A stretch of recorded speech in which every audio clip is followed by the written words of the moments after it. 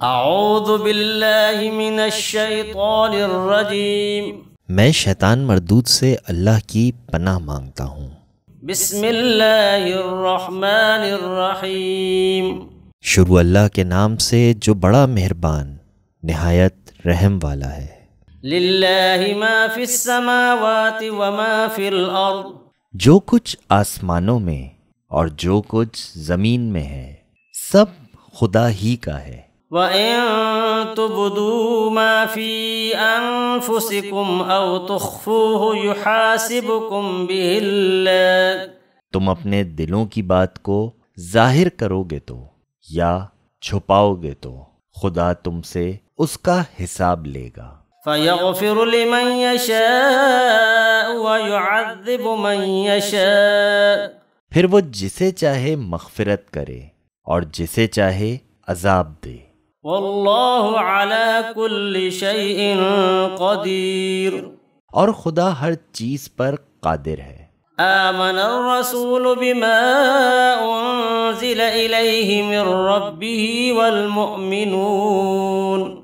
رسول خدا اس کتاب پر جو ان کے پروردگار کی طرف سے ان پر نازل ہوئی ایمان رکھتے ہیں اور مومن بھی۔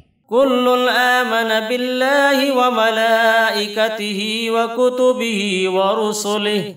سب خدا پر اور اس کے فرشتوں پر اور اس کی کتابوں پر اور اس کے پیغمبروں پر ایمان رکھتے ہیں۔ لا نفرق بین احد من رسله۔ ہم اس کے پیغمبروں سے کسی میں کچھ فرق نہیں کرتے۔ وقالوا سمعنا وأطعنا غفرانك ربنا وإليك المصير اور وہ عرض کرتے ہیں کہ ہم نے سنا اور قبول کیا۔ اے پروردگار تیری بخشش مانگتے ہیں اور تیری ہی طرف لوٹ کر جانا ہے۔ لا يكلف الله نفسا الا وسعها لها ما كسبت وعليها ما اكتسبت۔ خدا کسی شخص کو اس کی طاقت سے زیادہ تکلیف نہیں دیتا اچھے کام کرے گا تو اس کو ان کا فائدہ ملے گا برے کرے گا تو اسے ان کا نقصان پہنچے گا۔ ربنا لا تؤاخذنا ان نسينا او اخطأنا اے پروردگار اگر ہم سے بھول یا چوک ہو گئی ہو تو ہم سے معاوضہ نہ کیجیو ربنا ولا تحمل علينا إسرا كما حملته على الذين من قبلنا۔ اے پروردگار ہم پر ایسا بوجھ نہ ڈالیو جیسا تو نے ہم سے پہلے لوگوں پر ڈالا تھا۔